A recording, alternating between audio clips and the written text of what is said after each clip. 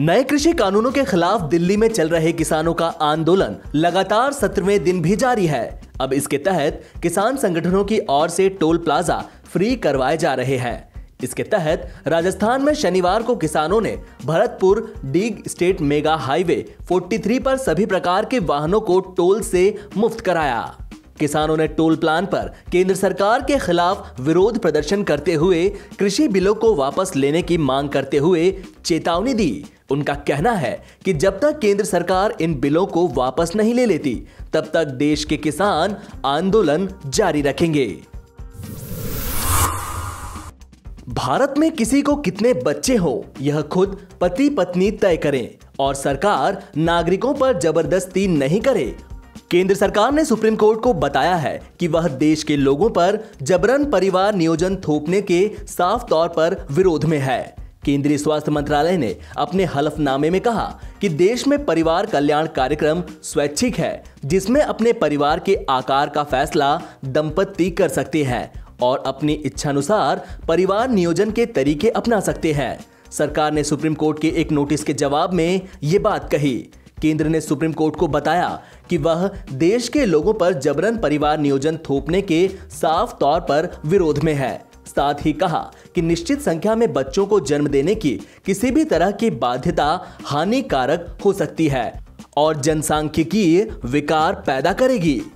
स्वास्थ्य मंत्रालय ने शीर्ष अदालत में पेश हलफनामे में कहा कि देश में परिवार कल्याण कार्यक्रम स्वैच्छिक है, जिसमें अपने परिवार के आकार का फैसला दंपत्ति कर सकते हैं और अपनी इच्छानुसार परिवार नियोजन के तरीके अपना सकते हैं।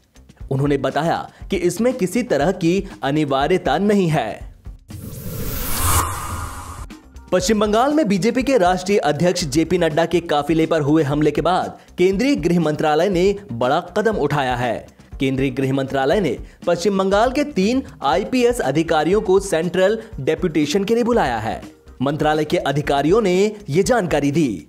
केंद्रीय गृह मंत्रालय के इस कदम से पश्चिम बंगाल में ममता बनर्जी की अगुवाई वाली तृणमूल कांग्रेस सरकार और दो दिन पहले जेपी नड्डा के काफिले पर हुए हमले के बाद बीजेपी के नेतृत्व वाली केंद्र सरकार के बीच चल रही खींचतान के और बढ़ने की संभावना है। चारा घोटाले में सजा काट रहे राष्ट्रीय जनता दल सुप्रीमो लालू प्रसाद यादव की तबीयत में फिर से गिरावट आ रही है। रांची के रिम्स के पेइंग वार्ड में इलाज करवा रहे लालू की किडनी का क्रिएटिनिन लेवल लगातार बढ़ रहा है। लालू की किडनी 25 फ़ीसदी ही काम कर रही है। शनिवार को लालू के इलाज में लगे डॉक्टर उमेश प्रसाद यादव ने जानकारी देते हुए बताया कि अगले कुछ दिनों तक स्थिति ऐसी ही रही तो लालू यादव को डायलिसिस कराने की ज़रूरत पड़ सकती है।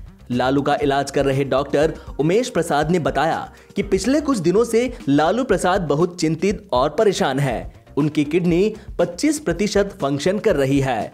ऐसे में कभी भी उनकी किडनी काम करना बंद कर सकती है।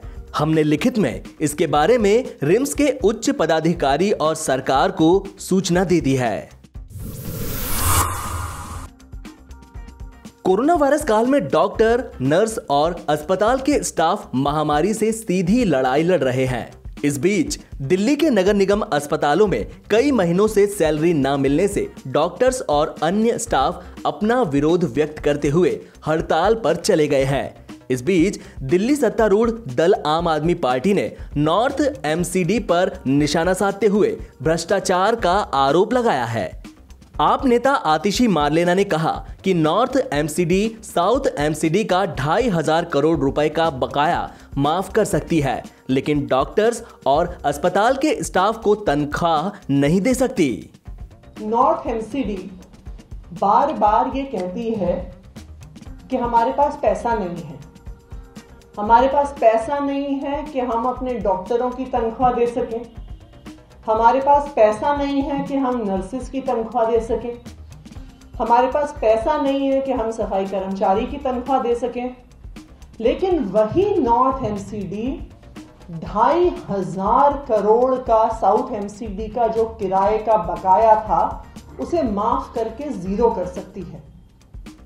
पिछले कई सालों से अगर आप साउथ एमसीडी के अकाउंट्स देखिए तो उसमें बहुत स्पष्ट रूप में लिखा रहता था कि ढाई हज़ार करोड़ सिविक सेंटर में जो एसडीएमसी का ऑफ़िस चलता है, उसका किराया बकाया था। लेकिन इस साल के बजट में वो ढाई हज़ार करोड़ गायब हो जाता है। बकाया ज़ीरो हो जाता है। तो सवाल यह है कि ये ढाई हज़ार करोड़ रुपए गए कहाँ?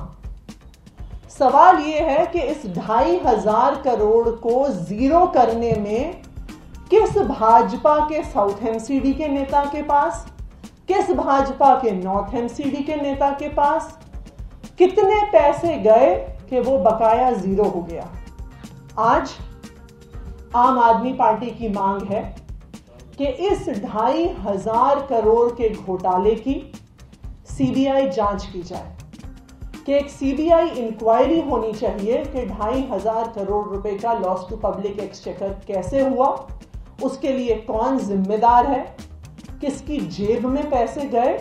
ये जनता को जानने का अधिकार है और जो इसके लिए दोषी है उस पर सख्त से सख्त कार्रवाई होनी चाहिए, क्योंकि इस ढाई हज़ार करोड़ से ही डॉक्टरों की तनख्वाह दी जा सकती थी।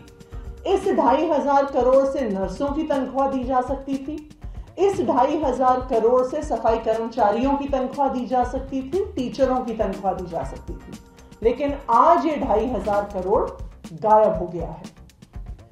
आम आदमी पार्टी के पार्षद और आम आदमी पार्टी के विधायक कल सुबह 11 बजे दिल्ली के लेफ्टिनेंट गवर्नर के यहाँ जाएँगे और सीबीआई इंक्वायरी की जाँच करेंगे।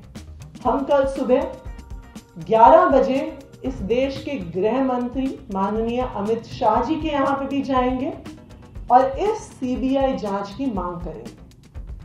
और हमारे विधायक और पार्षद एलजी साहब के घर के बाहर और माननीय गृह मंत्री अमित शाह जी के घर के बाहर तब तक बैठे रहेंगे जब तक वे दोनों सीबीआई जाँच के आदेश नहीं देते